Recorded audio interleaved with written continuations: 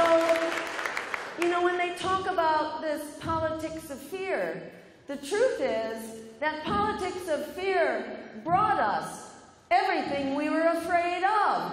All the reasons that we were told we had to vote for the lesser evil because you didn't want the massive bailouts for Wall Street. You didn't want the offshoring of our jobs. You didn't want the meltdown of the climate. You didn't want the attack on immigrants, with Barack Obama becoming the deporter in chief, having deported 3 million immigrants. You didn't want the attack on our civil liberties and the misuse of the Espionage Act, which was intended for spies who were selling and betraying American secrets, not for whistleblowers who were revealing crime, corruption, and the violation of international law.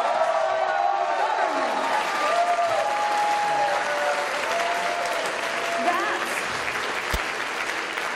that's what the lesser evil has brought to us.